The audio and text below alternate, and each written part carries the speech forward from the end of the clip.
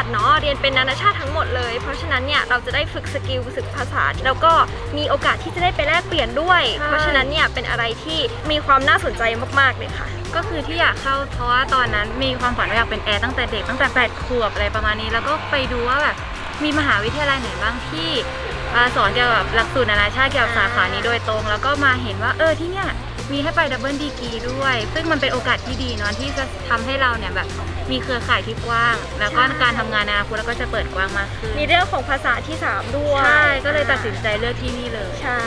สำหรับพี่หลิวนะคะ ตอนนั้นกว่าไปเจอคณะนี้สาขานี้ที่เออในเว็บไซต์ที่แคสสาขาว่าแบบเออเรียนเกี่ยวกับการท่องเที่ยวนะแล้วก็เป็นสิ่งที่เราสนใจพอดี แล้วก็คิดว่า มีการเรียนเกี่ยวกับ sustainability ค่ะ หรือว่าจะเป็นการแบบความยั่งยืนนั่นเอง ซึ่งแบบเป็นเทรนด์ในการทำงานในยุคนี้มากๆ แล้วก็รวมถึงเรียนเป็นภาษาอังกฤษด้วยก็คิดว่าค่อนข้างจะตอบโจทย์การทำงานในอนาคตค่ะก็เลยเลือกเรียนที่นี่ค่ะ สาเหตุที่เข้ามาเรียนที่นี่นะครับก็เพราะความตั้งใจเลยนะครับจริงๆก็ศึกษาหลาย ๆ ที่นะครับที่เป็นวิทยาลัยนานาชาตินะครับในสมัยนั้นที่ SWUIC เนี่ยนะครับก็มีหลักสูตรที่ค่อนข้างจะโดดเด่นกว่าที่อื่นนะครับก็คือไม่ได้เป็นเพียงแต่การเรียนเรื่อง ท่องเที่ยวการบริการอย่างเดียว แต่ว่ายัง apply ในคอนเซ็ปต์ของด้าน sustainability นะครับหรือว่าความยั่งยืนลงไปด้วยนะครับมันก็ทำให้เราเนี่ยมีความโดดเด่นนะครับจากหลักสูตรอื่น แล้วก็เป็นสาเหตุที่ตัดสินใจเลือกเลือกเรียนเข้ามาที่นี่นะครับเลือกออสอบตรงเข้ามาในเรียนในในสาขานี้ครับ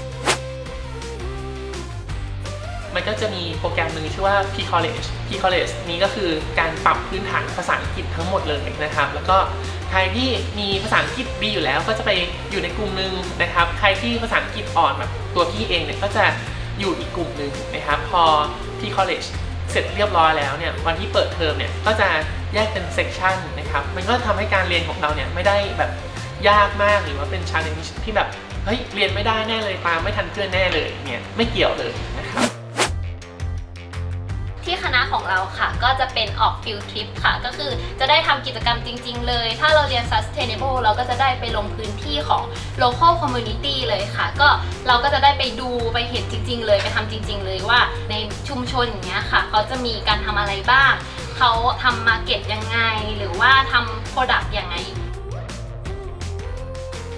ใน hospitality industry management เนี่ยนะครับไม่ได้จำกัดว่าจะต้องไปทำงานแค่ในสายท่องเที่ยว